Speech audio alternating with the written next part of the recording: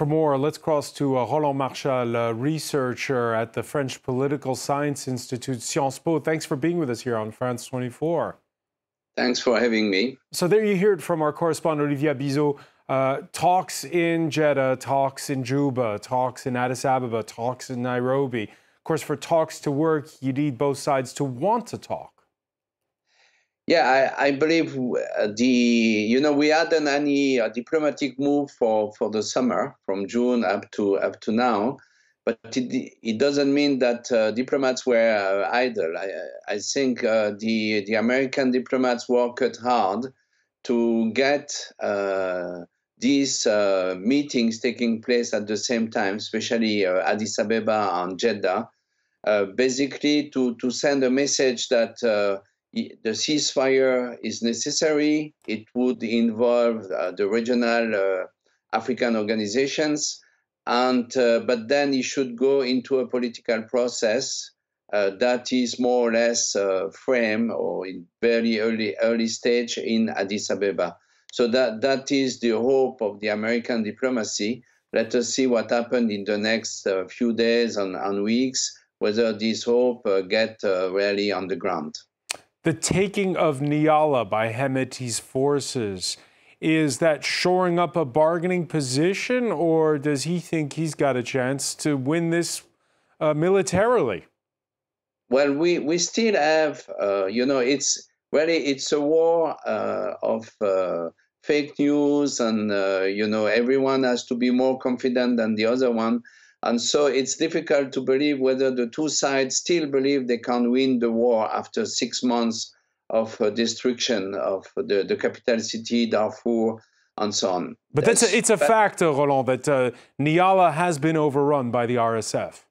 He, it's a, he has been taken back by the army. I think RSF is going to take it back again. Uh, so basically, what is new in that, you know, as you said, uh, the fact that there is heavy fight in Nyala as well as in Khartoum, it just means that uh, discussions are getting serious in Addis, in uh, in uh, Jeddah. On the other side, what is new in Nyala is that uh, the RSF troops were led by the brother of Hemeti, Abdelrahim, and uh, that he announced that the taking over Nyala was the first step towards setting up a government uh, in the area controlled by RSF. I think, again, it's a threat uh, that should, a message to Jeddah that uh, RSF may feel strong enough to to do that. I think nobody in the international in the international community, as well uh, as a regional state, is willing to witness this because that we will go back to a situation very close to what Libya has become and so no one uh, wants to move into that direction. But uh, but uh, again, what we have to see is uh, certainly uh, the uh, what is crucial is actually what's going to be discussed in Addis in Jeddah. Sorry.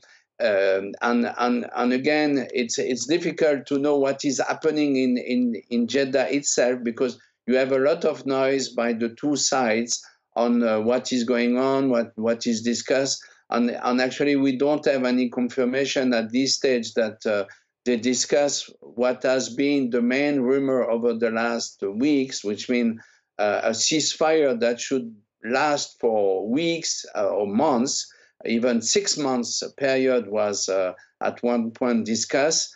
Uh, with, an, with a monitoring force from the African uh, states, uh, from the region, from the Horn of Africa, and then as well uh, soon after that um, the uh, uh follow up that will uh, build uh, a, a, government for Sudan in which the civilians would have the upper hand. That seems far from likely at this point. very, just very far. let me ask you, Hemeti, who himself is from Darfur, how serious are these uh, is the possibility that he'll try to have some kind of a breakaway region, perhaps even a breakaway republic? No, I, you know, uh, Darfur is is completely uh, surrounded by uh, uh countries that would not be very supportive of uh, Hemeti. So no, I think Hemeti uh, is smart enough to understand that uh, if anything has to be taken over, it should be Khartoum or Port Sudan at this stage, but not not only Darfur. So so the the the the, the real conflict is of course national linked to uh, national power in Sudan. But what is happening in Darfur, besides all statements by, made by RSF leadership of SAF leadership, is uh, uh, uh, uh, something that gets much closer to a civil war, a very bloody civil war that could, to a certain extent, be uh, the the end of a conflict that started in, in the late 1980s or in the early 2000s, as maybe most people would remember, and, and, and uh, bringing a solution that will be based on the eradication of some parts of the population. So that's why peace, ceasefire is necessary, not only in Khartoum, but in Darfur. And that's why uh, the uh, international diplomats should rush, because longer the time of negotiation, more uglier will be uh, the war in, in uh, Darfur and less controlled by SAF and RSF leaderships. Roland Marchal, many thanks for speaking with us. Thank you so much for having me.